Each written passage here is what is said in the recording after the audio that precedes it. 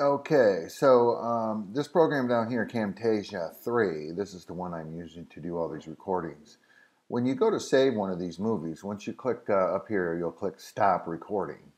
Okay, and then it'll it'll it'll put that current recording under Movies, Camtasia, Recordings. Now these are temporary recordings or raw file recordings. Now you can change these names to be the same thing as the, whatever you're going to call the video. So like in the net, and I put new computer, Firefox website. So you can see I've got two here. I've saved the Firefox editable version, which I could have just renamed it here, which I probably will. I'll just get rid of this one. But this is the dot track. This is something else.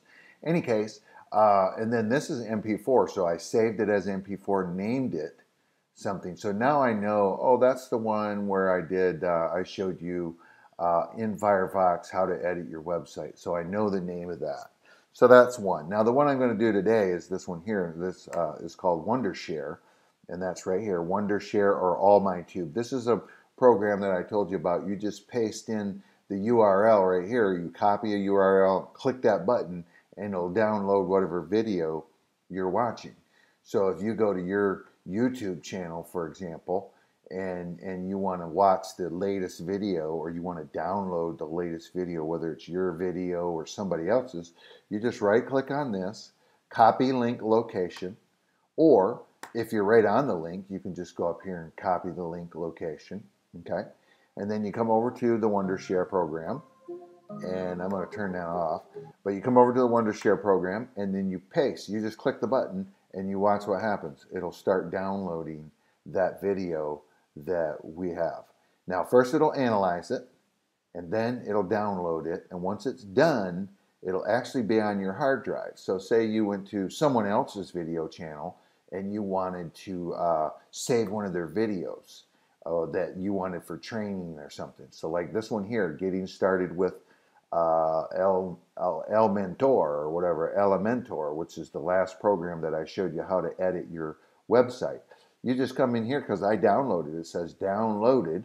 So you come in here and you can double click this and you can watch their video.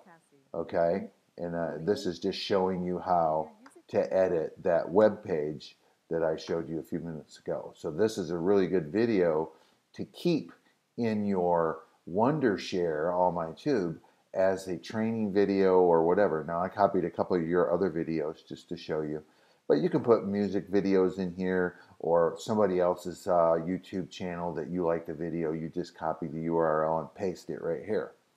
Now I'm going to stop this one because I don't need it. So if I say eliminate it or throw it in the trash, don't don't uh, and and then just delete it, and then it'll delete. So now the only thing left are the three that I've already finished downloading. So that's it. So uh, I'm going to uh, save this video as a short one and that's for uh, Tube, and then we'll go on to some of these other programs. So anyway, AllMyTube will, uh, uh, or this uh, this this program here um, is the one that I was telling you about, Camtasia. This is the program that we're running right now. We're recording on it, and once I'm done, it'll show up in here just like it would like an iMovie. This is Camtasia's uh, editor, and then you can edit the video that you just made. So I'm going to stop that recording